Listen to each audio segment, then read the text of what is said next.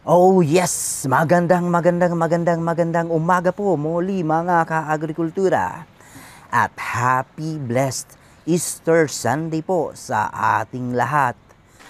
At maligayang pagbabalik dito sa ating YouTube channel, Agrikultura.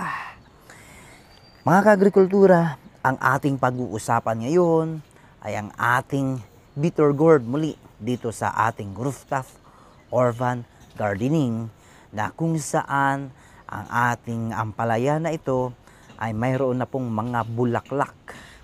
At pag-uusapan natin mga kaagrikultura ang dalawang uri ng pollination na ginagamit sa ating mga halamanan katulad ng ampalaya, cucumber, at iba pa. Katulad dito sa ating ampalaya na ito mga kaagrikultura, dito po ay may dumadapo na mga paro-paro or minsan bubuyog at mga bees na dumadapo sa aking halamanan dito sa rooftop gardening sa aking bitter gourd or ampalaya.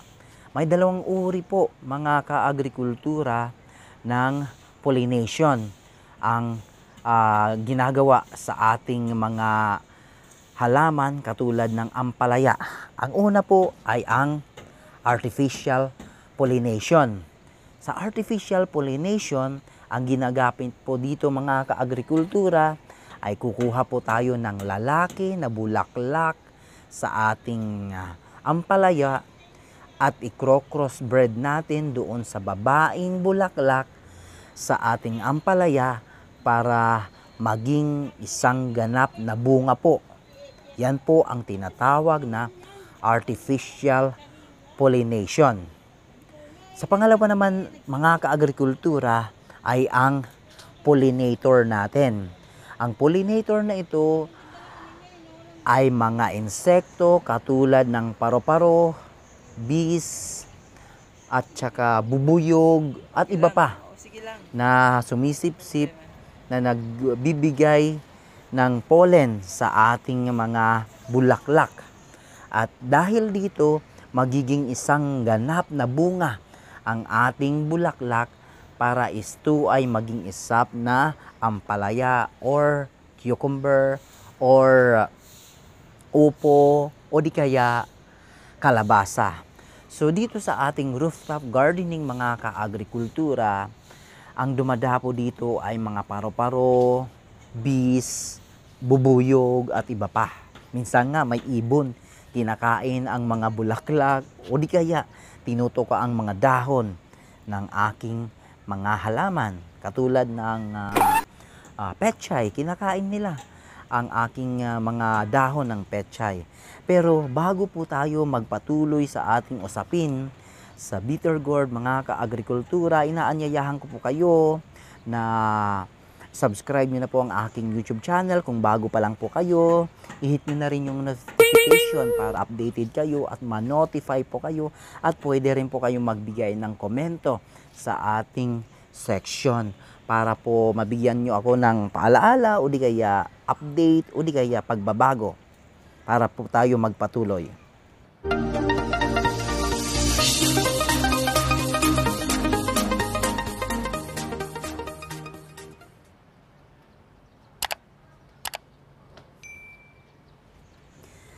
At sa ating pagpapatuloy mga kaagrikultura sa usaping bitter gourd or ampalaya na maulan.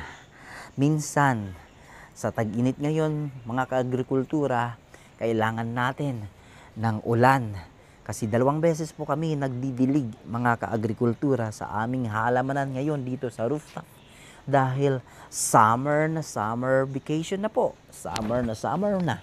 Ang panahon ngayon, So, kailangan natin diligan ng dalawang beses sa isang araw ang ating mga halaman dito sa rooftop gardening para hindi po sila malantang gulay. At para hindi po maunsyami ang pagbunga ng ating ampalaya, bagkos maging healthy po ang ating ampalaya. Kasi pagkatapos nito ng uh, pagpollen ng mga pollinator na ito, magiging ganap na bunga na po ang aking mga ampalaya. At pagkailang ah, araw, ay ito ay magiging ah, bunga na po at iha-harvest na po natin ito. So kaya ah, abangan natin ang mga susunod na mga kabanata sa ating ah, bitter gourd na ito at subaybayan natin ang ating ah, pag-aalaga. Kaya ako po ay ma- may kasabihan mga kaagrikultura, tayo po ay magtanim at kumain ng gulay para humaba ang buhay. At kung may mga extra space kayo, katulad halimbawa dito sa rooftop nyo, magkaroon kayo po ng ah, halamanan na gamit ang mga paso, bumili kayo ng mga plastic pots o di kaya recyclable materials katulad ng mga halimbawa ng mga pit bottles o di kaya Wilkins at iba pa.